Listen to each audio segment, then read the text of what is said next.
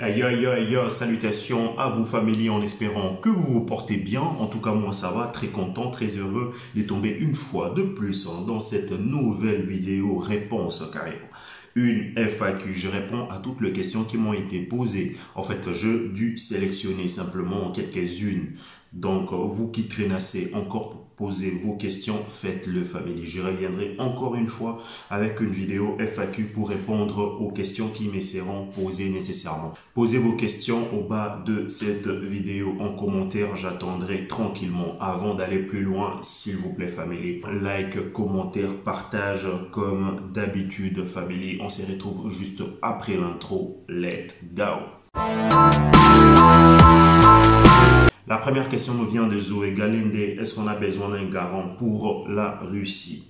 Eh ben, écoute Zoé, je dirais pas qu'on a besoin d'un garant, mais sinon on a besoin d'une personne tout simplement qui pourra deux fois, deux fois nous aider euh, dans telle ou telle autre démarche hein, qui euh, décèle certainement euh, des obligations universitaires quand vous serez ici en Russie.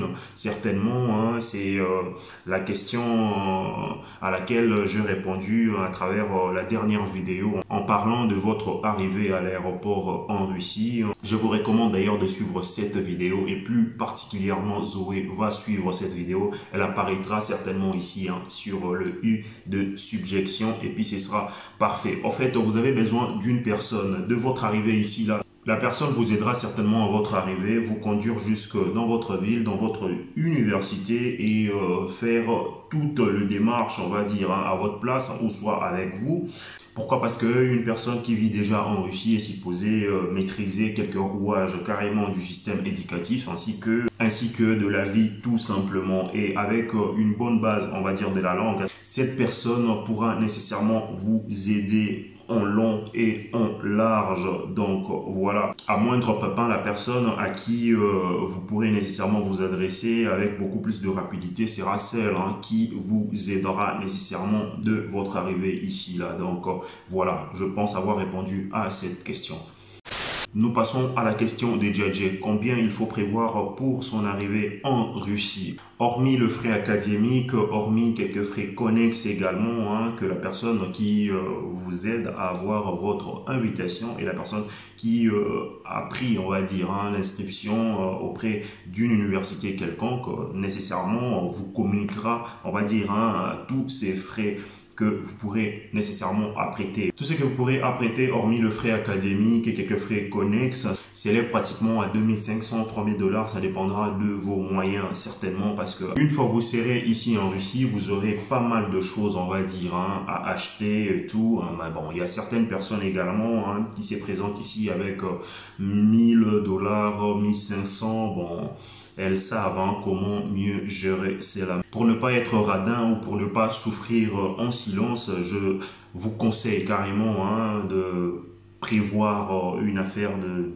2500, 3000, ce sera pas mal du tout. Déjà pour 6 euh, mois déjà, ce sera une très très bonne chose. Pourquoi? Parce que euh, vous allez mieux gérer, euh, on va dire, cette petite bagatelle. Le temps de voir venir, le temps que tout hein, prenne place et que vous ayez vos repères. Donc euh, voilà, famille.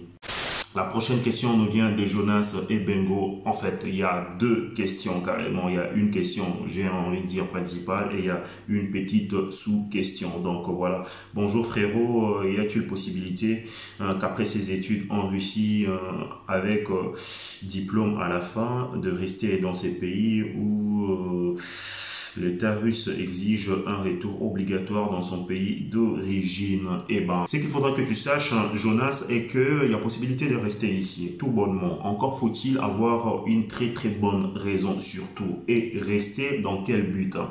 Et déjà, quand tu restes, il faut penser également à être légal. Pourquoi? Parce qu'il y a beaucoup hein, d'étudiants finalistes qui après mettre fin à leurs études, nécessairement ne veulent plus retourner chez eux, ce qui est un tout petit peu dommage. Et il y a certains d'ailleurs, hein, par manque d'intelligence, soit par manque d'information, sont tombés sans papier. C'est un peu regrettable. Donc il faudra y penser et ce sera normal. Eh ben, écoute, la Russie n'exige aucunement un étudiant de retourner chez lui au pays, j'ai envie de dire, un libre l'étudiant carrément de faire son choix, puisque le pays et l'université hein, donnent un libre arbitre, j'ai envie de dire, hein, à tout étudiant. Et eh ben, je me répète encore, libre à eux de faire un choix, soit de rester, soit de retourner au pays. Mais le choix qui est essentiel hein, pour certains d'ailleurs qui ont des engagements ici, là, c'est de rester. Mais pour ceux-là qui euh, nécessairement euh, veulent, on va dire, jouir, on va dire, de leur diplôme et travailler dépendamment hein, de leur profession carrément, doivent impérativement retourner au pays, quoi de plus normal d'ailleurs. Donc voilà, s'il y aura d'autres questions, n'hésite surtout pas à me les balancer et puis ce sera parfait. Il y a une sous-question. Evie Maoïté, ok, c'est bien moi, merci.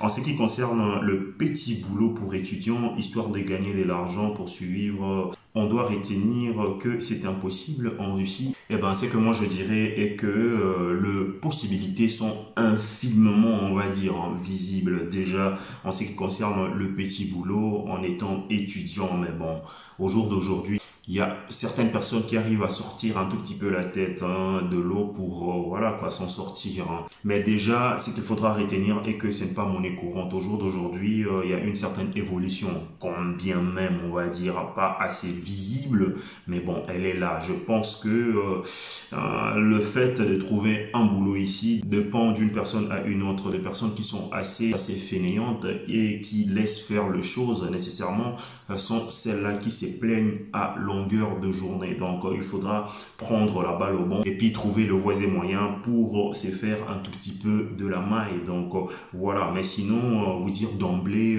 que c'est impossible, je dirais à 50%. Déjà, pourquoi? Parce que la situation évolue au jour le jour. Et déjà, l'année prochaine, je croise vraiment le doigt en espérant que ce sera parfait carrément. Ce que tu dois retenir et que c'est plus hein, pendant l'été hein, que beaucoup euh, d'étudiants déjà se lancent dans des chantiers et c'est la unième, on va dire, fois que j'en parle déjà. Chantier, euh, quelques boulots, on va dire, connexes pour se faire de l'argent. Et ce ne sont pas de boulot assez facile, hein, puisque c'est très très difficile. Mais bon, déjà, je pense avec cette grande évolution, il y aura un grand changement. Mais sinon, je vous apporterai de la lumière, encore une fois, une fois j'aurai toutes les cartes en ma position. Donc voilà. Nous passons à la question de Matangoye Joyce. Bonsoir. C'est possible de payer un certificat d'attitude des langues, ok, euh, russe, pour euh, directement entrer en première année d'études une fois arrivé en Russie? Eh ben, déjà, déjà, c'est que tu dois savoir, Joyce, c'est illégal. C'est illégal à moins que tu n'aies obtenu, j'ai envie de dire, ces certificats en Afrique et que euh, le document prouve à suffisance que tu maîtrises carrément la langue et cette langue, tu la parles déjà. Puisqu'il y aura un léger concours d'évaluation par rapport à ces aptitudes, on va dire, hein, euh, de la maîtrise de la langue, il y aura la grammaire, la conjugaison et euh, la dictée carrément. Donc voilà, mais c'est prétendre déjà, voilà, de tenir un certificat alors que on ne maîtrise rien, on va dire, hein, de la langue, c'est un tort. Moi, je te conseille tout simplement de venir, d'apprendre la langue, de passer une année ici, là, et euh, la seconde